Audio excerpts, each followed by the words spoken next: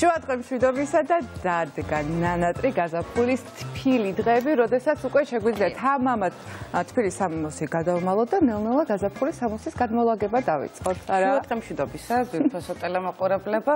დღეს მოდი იქიდან გამომდინარე, რომ ჩვენ მთელი კვირის მანძილზე არ ვიყავით ეთერში, მე უნდა გამოვიყენო ეს შანსი აუცილებლად და საერთო ჟრიამულს ყავ კიდევ ერთხელ უნდა შევუერთდე და კიდევ ერთხელ გილოცავთ ყველას იმ ძალიან დიდ მიღწევას, რაც ფეხბურთში ჩვენმა ქართველმა ფეხბურთელებმა გვაჩუქეს ყველას ერთად, სრულიად საქართველოს, ყველა ნახეთ როგორ გაგვაერთიანა ჩვენი ოკუპირებულ ტერიტორიებზე კი ისე აღნიშნავდნენ როგორც თავისას და ეს ესეც არის. მათი არის და ყველასი ერთად არის და საერთოდ იცი რა მომიტანა აი ამ გამარჯობა მე პირადად. შეგრძნება იმისი რომ ყველაფერი მართლა გამოგვივა და იმისი რომ წარმატების მიღწევა შესაძლებელია ძალიან დიდი შრომის, მონდომების, ბრძოლის და ჟინის შედეგად ეს შეგრძნება რაღაცა კიდევ უფრო მეტად გამიასმა და ამიტომ მაგიტომ არსებობს. ოლიმპიადა ამისთვის შეჯიბრებები ამისთვის არსებობს სპორტის ეს მიმართულება.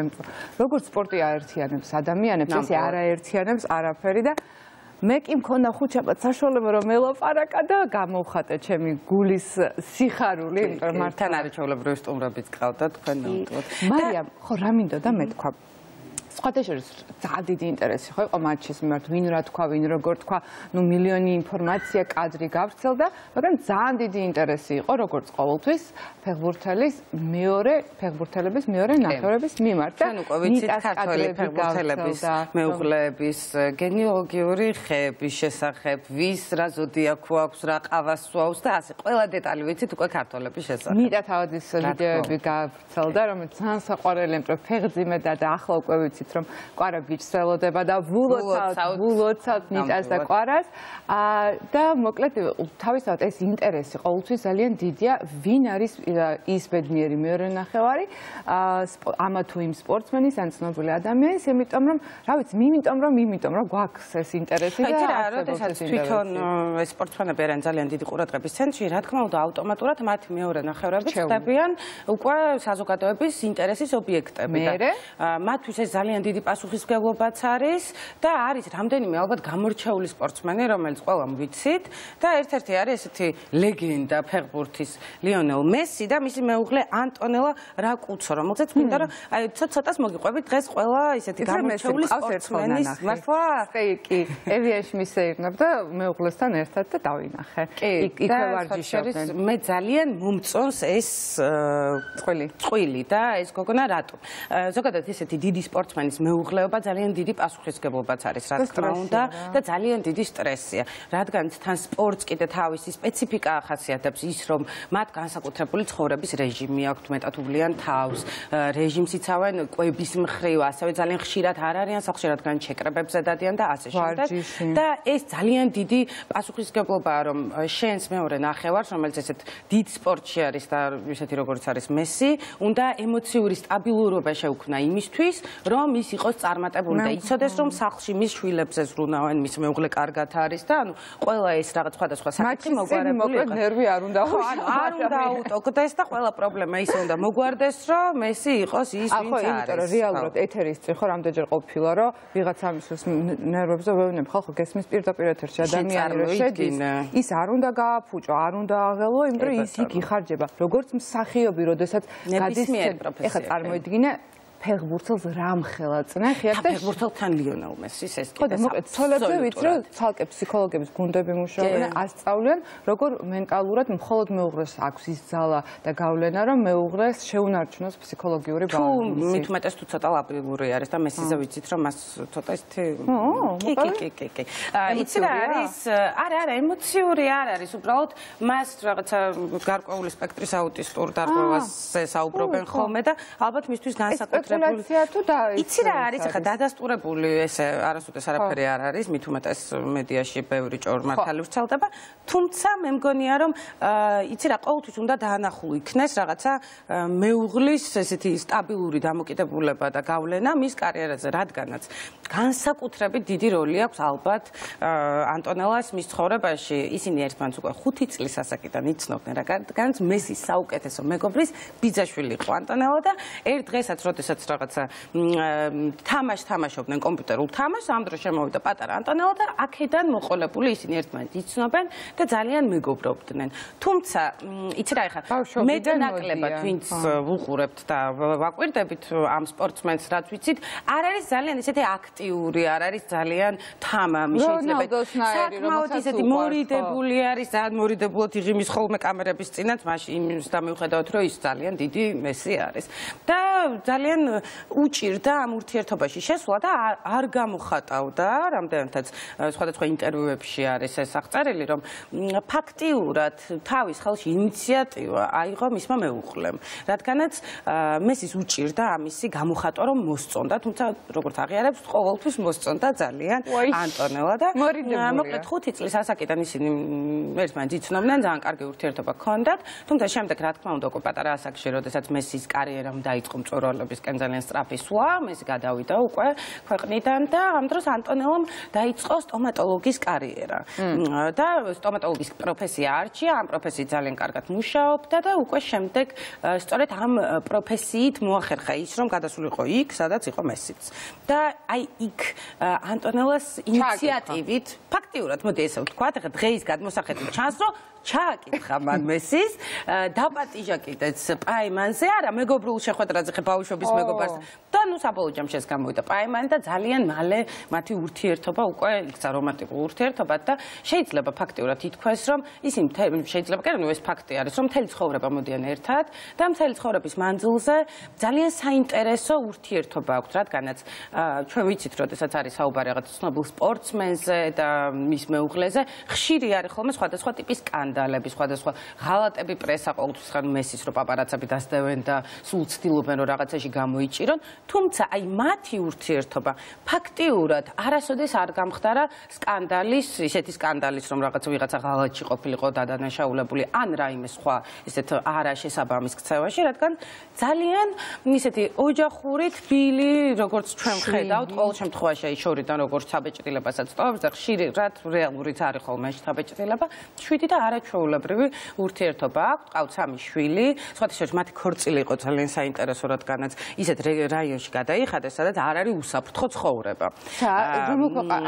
მესის სამშობლოში და ისეთ რაიონში გადაიხადეს, სადაც არ არის უსაფრთხო ცხოვრება, ცალკე დამატებითი რაღაცა ეკიპაჟების დაქირავება გახდა დაცვის საჭირო იმისათვის, რომ ეს ამ ქალაქში ეს უსაფრთხოება შეენარჩუნებინათ, რადგან მესის ძალიან ბევრი დიდი სტუმრები ყავდა. და ხო ხო ხო ნუ იცი რა ხა არგენტინაში ეს სხვადასხვა არა უსაფრთხო უბნები და მსგავს ქვეყნებში ხშირი არის აქედან გამომდინარე. კი კი კი აქედან გამომდინარე. ძალიან საინტერესო ქორწილი იყო მათი ქორწილის ტრანსფერება ხდებოდა პირდაპირ ეთერში კი და ხალხი უყურებდა ქუჩებში ადევნებდა თავს. კი კაი მიდი. ხო ნუ იმიტომ რომ ძალიან დიდი ვარსკვლავი ხა ჩვენ კიდე ხა მე ძალიან მიყვარს ფეხბურთი თუმცა ესეთი გიჟიფანი არ ვარ და ხა როდესაც შენი ქალაქიდან არის მესი რა თქმა უნდა მისი რაღაცა ბავშვის დაბადებას ისე აღნიშნავდნენ როგორც თავის საკუთარის და ასე შემდეგ.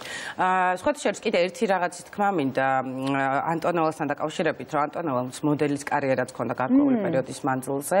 ის არაჩვეულებრივ ფორმაშია ყოველთვის ხა ფოტოებსაც თუ დავუკვირდებით, ესეთი ნავარჯიშები, ჯამრთელი, ისე არგენტინელი გოგოები ზოგადად კი, ნუ საკმაოდ ისეთი ეშხიანი და ძალიან ისეთი კარგად გამოიყურება თავისი ბიზნესიც აქვს. სხვათა შორის სუარესის, რომელიც არის მესის მეგობარი სუარესის მეუღლესთან ერთად აქვს ერთ ერთ-ერთი ფერსატმის და ჩანთების კომპანია, ბრენდი, რომელიც ისეთი საკმაოდ ნორმალური არის, ხო ვერ ვიტყვი რომ რაღაც ძალიან წარმატებული, თუმცა მას რაღაც თავისი ჰობი აქვს, ამ ყველაფერში რაღაც თავისი ინტერესი. აი, ლათინოსებს არ აქვს გემოვნება ყველა ვიცი. ოპოპო. ანუ, ნუ, ყოველთვის არა. გაჩნია. გემოვნება აქვს ფრანგებს, აქვს იტალიელებს, კარგი გემოვნება აქვს იაპონელებს და მოდი მანდ შევფერხდეთ. ნუ იცი რა არის ლათინოს ხა ეს ძალიან რთულია რომ ერთი სახელის ქვეშ გავაერთიანო ხა ვიღაცებს შეიძლება ქონდეს ძალიან დიზაინერი საიდან? დიზაინერების წარმოება აბა ხა იმაზე კი არ ვლაპარაკობ იმას ვლაპარაკობ ზოგად გემუნ ვლაპარაკობ სამოსის დიზაინერების აი შექმნის თვალსაზრისით. ინტერიერი ინტერიერის დიზაინი იქნება თუ სამოსის დიზაინი თუმცა მათ კულტურას ამაზე რაღაცებით სახასიათო და აუცილებლად კიდე უნდა ვთქვათ ის რომ არასოდეს თავად არ ყვება არანაირ ისეთ სკანდალში. ყოველთვის არის ძალიან ისეთი მზრუნველი, ყოველთვის ძალიან კარგად ჩანს რომ წითელ ხალიჩაზე ის მის გვერდით დგას, ძალიან წყნარად, ზედმეტი სკანდალების გარეშე და ჩემი აზრით სწორედ ეს არის ერთ-ერთი შეიძლება არ იყოს ეს გადამწყვეტი, რადგან ნუ მესი მესი არის ყოველ მიცი, თუმცა ერთ-ერთი სტაბილურობის მიცემი და რაღაცა მიმართ სიმშვიდის საყრდენი ნამდვილად შეიძლება იყოს ერთ სპორტსმენის მეუღლე ხარ და მგონი რომ ძალიან ხო, მე არა აქტიური სპორტსმენის მეუღლე ვარ, ამიტომ ეს კიდე ცოტა სხვა ის არის. თუმცა ძალიან საინტერესო მეუღლე ყავს კიდე ერთ დიდ სპორტსმენს. ხო, აი შეიძლება მე ვიზეთ მოგიყვებით. ბევრ საინტერესო ამბავი არის რონალდო. ვერ ვიტყვი რომ რონალდო ვაიმედე და არ წახდა ჩემს საქმე. დიდად არ მომწონს. მე უფრო მესის ფანი ვარ და გულშემატკი ვარ. რონალდო არის ჩემთვის ზედმეტად ზედმეტი. ანუ ყველაფერს ვიტყოდი ამ ყველაფერს, იმიტომ რომ ხა ჩვენ რონალდოს ფანები გვიყურებენ, მოგდგენდი. არა, შეხედე ხა ყველა სამყარო მესის და რონალდოს ამბებში არის გაყოფილი, ამიტომ ძალიან ეს მარტივად არის. არიან მესის ფანები, არიან რონალდოს ფანები. მოკლედ, რონალდოს ტიპაჟურად მეუღლე, მგონია ვინც ყავს მეუღლე, ანტონელა, ძალიან ანტონელა ვთქვი, ჯორჯინა. ჯორჯინა. ძალიან შეეფერება. დეალურად. 34-ის იყო, როდესაც ხელი თხოვა ჯორჯინას, ან მას უკვე ამ დროისთვის ყავდა 4 შვილი. ირინა შეიკის შეყვარებული იყო, ძალიან ბევრი ცნობილი შეყვარებული ყავდა, ბევრი რამე ნახა, ну, წარმატებული ასე შემდეგ, ასე შემდეგ. ну, დიდი ვარსკვლავია რონალდო. ეხლა წარმოიდგინეთ, ერთ მშვენიერ დღეს რონალდო შედის ესპანეთში გუჩის მაღაზიაში, სადაც ერთ-ერთი გოგო ჯორჯინა მუშაობს გამყიდველად. მას სჭირდება დახმარება იმისთვის, რომ პერანგი შეარჩიოს, ზომებთან დაკავშირებით არის მცირე კომუნიკაცია და მაღაზიიდან გამოსვლისას თვითონვე იხსენებს, რომ აი როგორი სურვილი გამიჩნდა, ვიცი, რომ აი შეგრძნება მქონდა, რომ სახლი ვიპოვნეო. აი დაახლოებით ესეთ და მივბრუნდი და ნომერი გამოვართვი და ვთხოვ რომ იქნება აი დღეს როდესაც სამუშაო საათებს დაასრულებ. მოდი მე მოგაკითხავ და მე და შენ წავიდეთ დავლიოთ ფინჯანი ყავა ან რამე ვილაპარაკოთ. ასე გაიცნეს ერთმანეთი. აა ჯორჯინა ძალიან საინტერესო ისიც არგენტინელი არის. აა თავის დროზე გადავიდა მისი ოჯახი ესპანეთში საცხოვრებლად გარკვეული მიზეზების გამო მამა იყო ნარკოპარონი რომელიც ერთხელ არა ორჯერ ნარკოტიკების დიდი რაოდენობის გადაზიდვის გამო იყო დაჭერილი და ერთხელ 11 წელი იჯდა ციხეში, მერე აღარ მახსოვს რამდენი წელი იჯდა ციხეში, მოკლედ კაცი ამ მიმართულებით განვითარებული იყო. მერე ჯორჯიას ჯორჯინას ძალიან ადრე დაიღუპა დედა. და მისთვის ეს იყო ცხოვრებისეული უდიდესი ტრამვა. ხა ახალგაზრდა გოგო, мама ციხეში, ესეთი მდგომარეობა, ხო? და დაიღუპა დედა და ძალიან ეხაც გული ამიჩქარდა. ძალიან ტრამული იყო მისთვის, ურთულესი ცხოვრება აქ მას გამოვლილი. მარტო იყო, მისი ნატურა იყო მოცეკვაობა. უნდოდა ცეკვა, მაგრამ იქიდან გამომდინარე ეს ერთ რთულ ოჯახურ ვითარებაში ვერ დადიოდა ცეკვაზე, ვერ მოხდა ანსამბლში. მე თავისით დაიწყო სწავლა. სწავლობდა ცეკვას, არ გამოვიდა. მე ისწავლა წვალებ-წვალებით ინგლისური, წავიდა ინგლისში, იქ ჩააბარა უნივერსიტეტში. მოდის მიმართულებით რაღაცა დაამთავრა, დაბრუნდა ესპანეთში. მოკლედ, ეს არის მებრძოლის სულის ადამიანი რა. ღირსეული პატიოსანი შრომით სულ ცდილობდა, რომ ცხოვრებაში რაღაცა პატარა ადგილი თავისი ეპოვნა. ამასობაში გამოჩნდა რონალდო მის ცხოვრებაში და ნუ მოკლედ მათი რომანი წლების განმავლობაში გრძელდებოდა. სასაცილო ამბავი იყო ის, რომ მართლა წარმოიდგინე ხა რონალდოს რაფანები ყავს. და წარმოიდგინე რა რაოდენობის პაპარაცი იდგა გუჩის მაღაზიის წინ, როდესაც ეს გოგო ანუ გენიალური ამბავე მიდიოდა დილაობით ავტობუსით სამსახურში, რონალდო საღამოს 6 საათზე აკითხავდა ბუგატით და მიდიოდნენ რესტორანში და ეს რაღაცა პარადოქსული, მე კი არ ვყოფ რაღაცა ფენებად და რა. ანუ თუმცა ხა ეს ეგეთი გარემოდან იყო. ანუ რას ვამბობ, რონალდოც ამ გარემოდან იყო წამოსulis კი არა რაღაცა პრინც ჩალზი იყო. უბრალოდ აი ეს კონტრასტი იყო სასაცილო და უცგაური. ძალიან მაგარი გოგო არის. მეხუთე შვილი გაუჩინა უკვე ჯორჯინამ. ამ ოთხივესაც ჯორჯინა უმარტივესად იოლად უსდის, მორგებულია თავის ოჯახზე. თავის საქმესაც აკეთებს. ამასობაში რა ძალიან მნიშვნელოვანია ქალისთვის თავისი ქალ ძალიან ბევრი ენერგია აქვს რა ყველგან შეუძლია რომ იბწყინოს რა და თუ მეუღლე ყავს ისეთი რომელიც არის მისი ნამდვილი სიყვარული და პარტნიორი ხელს უწყობს და მართლა ყველაფერში ბწყინავს ბავშვებს ხო უვლის თავისი ქმნის ხო ერთგული თანამებრძოლია და გვერდში უდგას არ ვიცი კლდესავით და თავისი შესანიშნავი Netflix-ზე დოკუმენტური სერია გააკეთა, როგორც აი Kim Kardashian-ს რა კამერა რო დაყვება. ეგეთი ვუყურე მე და ძალიან მომეწონა. ძალიან საყვარელი უბრალო. გოგო არის, სხვათა შორის ჩვენ რა ქვია, გვასალიებთან მეგობრობს. მე და ჩვენებაზე ჩვენთვის საყვარელი თემა არის. დემნასთანაც მეგობრობს და გურამისთან ხო საერთოდ ხაზზე არის და გურამმა რაღაც უამაზე სამოს უკვეთავს და ესეთი გოგო არის ძალიან გურამის ჩვენებაზე იყო ხო? ვეთმესის ჩვენებაზე ჯორჯინა ვიხილეთ და ძალიან ესეთი შთამბეჭდავი იყო არის შენი მაგალითი არის ბავშვობიდან დაწყებული და მართლა იდეალური ახლა. რამდენი ამბავი იცით რომ ხუთი წლიდან ადამიანები ერთად მოდიან და ჰარმონიულად თან ხო აი მას მაყოლას მისცეს ეგეთი შესაშური ურთიერთობაა ნამდვილად. მაგრამ არიან ადამიანები როდესაც ძალიან გვიან ცხოვრებაში გვიან პოულობენ ერთმანეთს ძალიან ბევრი ბრძოლა უწევთ იმისთვის რომ რაღაცა ადგილი დაიკვიდრო და მე ხვდებიან ერთმანეთს და არიან ძალიან ძალიან ბედნიერები. წარმატება და ბედნიერება რონალდოს და პეპის მათი ურთიერთობით. თუმცა იცი რა ძალიან საინტერესო ბიოგრაფია აქვს ამას და ძალიან მომეწონა ის დეტალები, რასაც შენი ყურადღება იყო. და ახლა უნდა გადავიდეთ ისეთ ვარსკვლავურ წყვილზე, რომელიც აი ამ ჩვენი წინაწყვილებისგან განსხვავებით ძალიან ძალიან ბევრი გაუგებრობის, ძალიან ბევრი სკანდალის და ძალიან ბევრი ტაბლოიდების რაღაცა პირველი გვერდების მიზეზი გამხდარან. ესენი არიან შაკირა და პიკე. ყველასთვის უკვე ძალიან კარგად ნაცნობი თემა არის. სხვათა შორის თანამ კი წალეკა ფაქტიურად მთელი ინტერნეტი სივრცე რადგანაც და ორივემ აქტიურად გამოხატა ამაზე თავისი აზრი, ერთმა სიმღერა მიუძღვნა, მეორემ კლუბში. მოკლედ აი საოცრებები აკეთეს. თუმცა საინტერესოა როგორ დაიწყო მათი ურთიერთობა. ჩვენ კარგად ვიცით რომ შაკირას ერთ-ერთი ყველაზე ცნობადი სიმღერა რომელიც 2010 წლის FIFA-სთვის დაიწერა და ჰიმნი არის მსოფლიო ჩემპიონატის სწორედ ფეხბურთს უკავშირდებოდა და სწორედ აი ამის პროცესში გაიცნეს მათ ერთმანეთი. სხვადასხვა ინტერვიუებში პიკე აღნიშნავს რომ ყოველთვის მოწონდა თუმცა აი ამ დროს უკვე ამ ჩემსოფლიო ჩემპიონატმა ისინი დააკავშირა და ძალიან სასაცილო არის რაღაცა პიკე ამბობს რომ იმისთვის რომ გამოვაპარაკებოდი რაღაც ამინძე დაუწყე ლაპარაკი იმიტომ რომ ნუ ვერაფერი ვერ მოძებნა საერთოდ მეგობრებო ხო სანამ პიკე გამოჩნდებოდა არ მიწვინოთ მაგრამ შაკირა შაკირა იყო. შაკირა ჩემი ბავშვობისას რო გამოდიოდა სცენაზე ხალხს გული მისდიოდა უდი არ ვიცი თბილისშიც არის ნამყოფი შაკირა. და მახსოვს ეს კონცერტი ძალიან დიდი ვარსკვლავია. კი არა შაკირა ყველა მიცის რომ ძალიან დიდი ვარსკვლავია. ჟერად პიკეთ ასევე ძალიან დიდი საფეხბურთო ვარსკვლავია და მათი შეუღლება იყო ძალიან დიდი ისეთი ვარსკვლავური შეუღლება რომელიც ყველას ძალიან მოსწონდა. მათ ყავთ შვილები რაღაცა საერთო ფოტოებს ყოველ ძალიან ხშირად აზიარებდნენ, შაკირა ყოველთვის ესწრებოდა მის თამაშებს და ნუ მოკლედ ძალიან ისეთი ურთიერთობა იყო. მოდი ხა ამ ურთიერთობაზე დიდად არ შევჩერდები, რადგან ამ ურთიერთობის დასრულების მერე მოხდა ისეთი ამბავი, რამაც მე მგონი მთელი ეს წლები გადაფარა.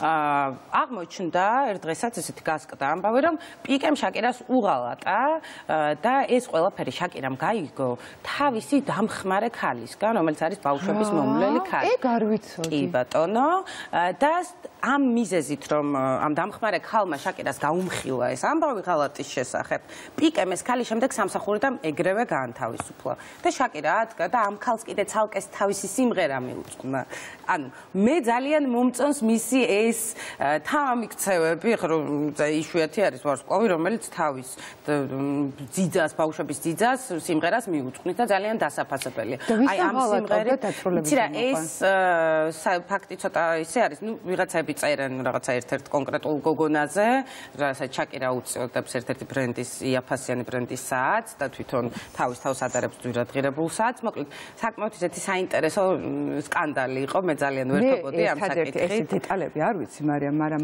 მახსოვს რომ რაღაცა მომენტში შაკირა სახელი მივიწყებული იყო. მეტნაკლებად ახლა ლეგენდა არ აღსრულებია, მაგრამ მან გადაწია თავისი კარიერა გარკვეული წილად უკანა ფლანგზე, რადგანაც მან შექმნა ოჯახი, ყავდა შვილები, აქტიური სპორტსმენი მეუღლე და უფრო მეტად ამაში იყო ჩართული. რა გეუბნები, რაღაცა მომენტ მივიწყებული ეშენი შაკირა და უცბად ხვდები რომ აი ინფორმაციული ველი მოცულია, რა თქვა, შაკირამ, რა თქვა პიკემ. კარიერის ხოლსა იცი რა, ძალიან სწორი ნაბიჯი.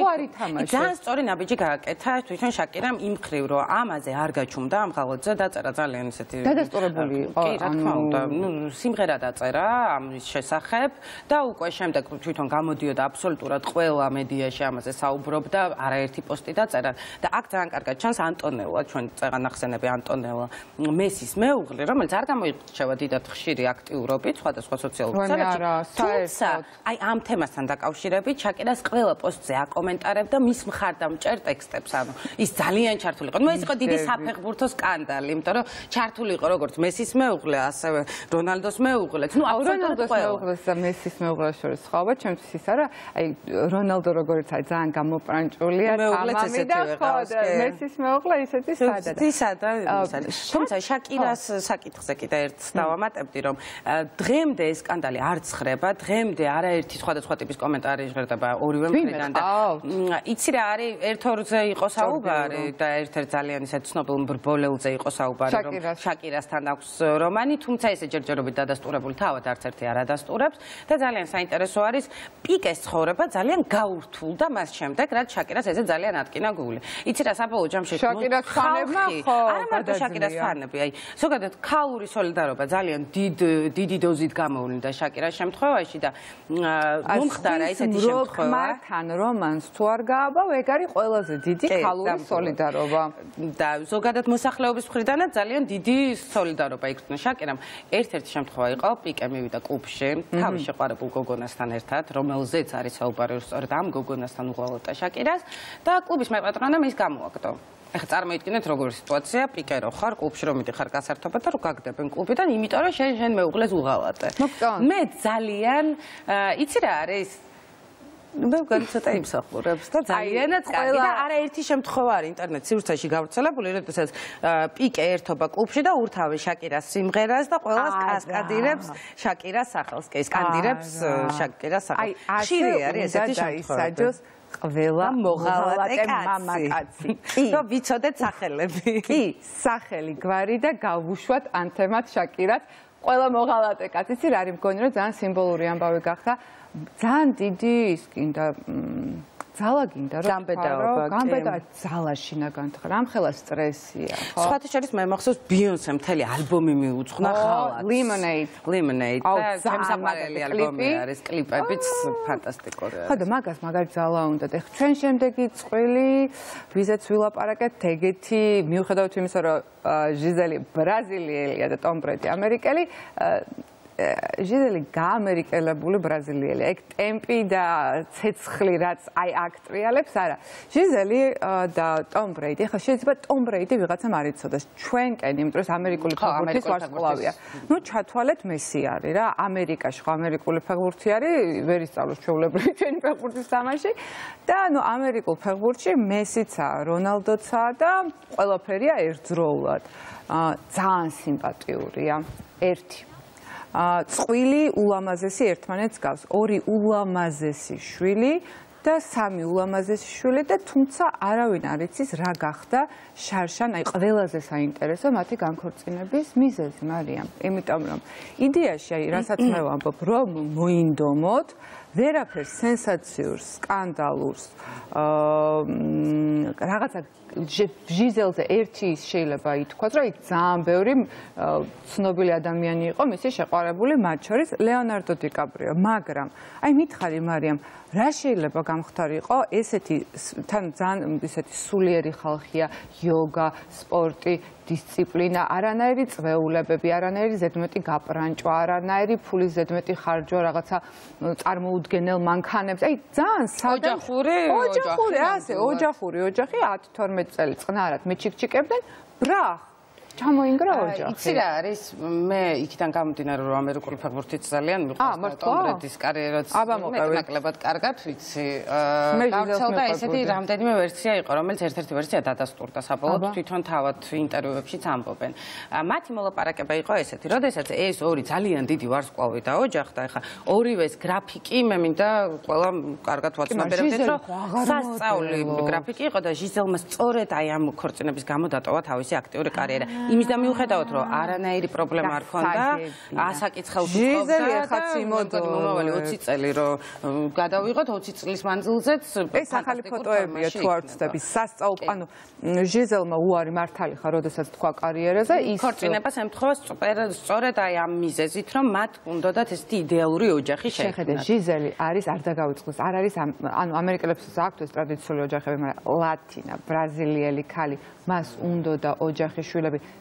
ძალიან პრობლემები ლეონარდოსთან აურა საყვარელი ვარ გეგონება იქ ვიყავი და ყვები ახლა ანუ აი რატო ქონდა პრობლემები ჟიზელს ლეონარდოსთან?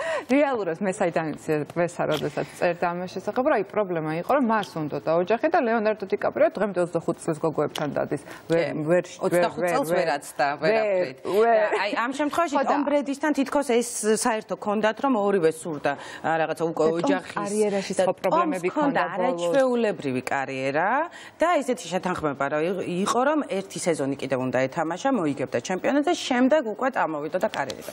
თუმცა ეს ერთი სეზონი და ჩემპიონობა გახდა მეორე სეზონად, გადაიქცა უკვე მესამე სეზონად და აღმოჩნდა საბოლოო ჯამში ჟიზელმა დათმა ყველაფერი და ტომმა არ დათმა. აა და აი სხვათა შორის გამოიწვია მატჩი. არ იცი რა წენა ის და მე თუ დავთმე შენ რა ეს არ არის რაღაცა პატიოსანის აქციელი, როდესაც რაღაცა მოლაპარაკება არის თან მით უმეტეს ესეთი წყვილებს შორის და მე უცებ ერთ-ერთი გადაწყვიტავს, რომ იცი რა მე მაინც მინდა ჩემი კარიერის გაგრძელება. თუმცა ძალიან რთული აქ გავაკრიტიკოთ ტომ ბრედი რატომ. ეს არის მისი ცხოვრების ყველაზე დიდი სიყვარული, ანუ ეს ზოგადად სპორტსმენებისთვის რაღაცა პროფესია, კიდე სხვანაირად დიდი სიყვარული სიყვარულია და მე ალბათ ვერც გავაკრიტიკებ ტომ ბრედის, რადგან ამის შემდეგ ჩემპიონი გახდა რამდენჯერმე. შეჩერდი ჟიზელ, შენ ხარ მოდელი. შენი კარიერა იწყება როგორც მოდელის, ხო? მითხარი ჟიზელი შედის თუ არა ტოპ 5-ულ მსოფლიო ყველა დროის მოდელში. აბსოლუტური ტოპი ჟიზელმა ბუნებრივი სილამაზის მიმდინარეობა არასტანდარტ მეგობრებო გავხსენთ რომ ჟიზელი თავის დროზე საერთოდ არ ითვლებოდა ლამაზად. ჟიზელი ითვლებოდა ძალიან არასტანდარტული გარეგნობა ჰქონდა. მისი ცხვირი არ იყო რაღაც ბერძნული დამახასიათებელი კეხი ქონდა, ტუჩები ზედა ტუჩი თხელი ქონდა, ანუ მისი სახე ლამაზ სახეთ, აი იმ ძველი სტანდარტებით, რომელიც კლაუდია შიფერს და სინჯი კროფორდს აყენებდა წინ, არ ითვლებოდა რომ ეს იყო ლამაზი ქალი. ჩემთვის არაჩვეულებრივი სიარულის მანერა ქონდა, რომელიც ძალიან მომწონს გიჟდები მის მანერაზე. ნუ ტოპ მოდელი არის ნამდვილად ამ ეპოქის ერთ-ერთი ყველაზე გამორჩეული ტოპ მოდელი. იცი რა ცოტა რთული ხე ჩვენ შევაფასოთ ჟიზელის და ტომპრედის ურთიერთობა. უბრალოდ ალბათ დასაწყისშიო რაღაცა უცნაური მოლაპარაკება იმისი რომ ორივე უნდა დათმოს კარიერა. შეხედე, არა, არა. უკვე რაღაც მგონია რომ არასწორია. არა, მარიამ, შეხედე, თუ შენ მე მთხოვ რომ შენს მოდელ სამოდელო კარიერაზე. არ უნდა ეთქოთ, მე მაგას ვამბობ. აი ეს დათმობა იმისი რაც ყველაზე ორივე ძალიან უყვარდა. ეგეთი განრიგისორი ადამიანი ვერ იქნებოდა. ხო, მაგრამ რაღაცა ხო. ხო. გვეუბნები დააცადეთ ეს ჩვენ ახლა ვკამათობთ ამ თემასთან დაკავშირებით. რეალურად კამათობ არა აი არ ვიცი არ ვიცი რა ვქნა რა შე როგორ ფიქრ? აი შე როგორ მოიქცა მე მგონია რომ არ უნდა დავთმოთ რაო მოგწონს გოგოებსო მიგორებენო არა. დიცხოვე თორე ერთ ჩვენი ერთხელ თუ გაჟღერდა შაკირა სადაც შენ სიმაში ეს დამიჭირეთ ერთი წამი დამიჭირეთ მიირთვით გაისველეთ პირი იმდენი საუბრეთ. ახლა შეფუთის ხოლმე უკვე ისეთ დროს როცა ჩვენ უკვე აი სიტყვებით აღარ პროდიუსერების ის რო ვეღარ ახერხებენ თქვენს გაჩუმებას, მე შემოვდივარ მაგდროს ხოლმე კოკაკოლით. აბა მარიამ, ეს თუ დაგვადუმებს, ეს თუ დაგვადუმებს ჩვენ. მომიყევით ეხა. იცი რა მაინტერესებს? კაი შაკირაზე გავიგე და მესისოლზე ხო მოგიყევით ისტორია კი კი მახსოვს რომ იცნობ ძალიან კარგად ერთად ცხოვრობდით სხვა გამები შეკერვა ამასთან ერთად დაუწყია მეგობრებო ახლა ჩვენ მოდი რეკლამაზე გავალთ რომ რაღაცა საოცრებებს ვიმეთყოლებთ კიდე. თქვენ დარჩით ჩვენთან ერთად კი. და რა გველის ეგეც უთხრათ მაყურებელს. რეკლამის შემდეგ. ბატონი მიხეილ ცაგარელი ბატონი მიხეილ ცაგარელი აპრილის პროგნოზი იქნება ასტროლოგიური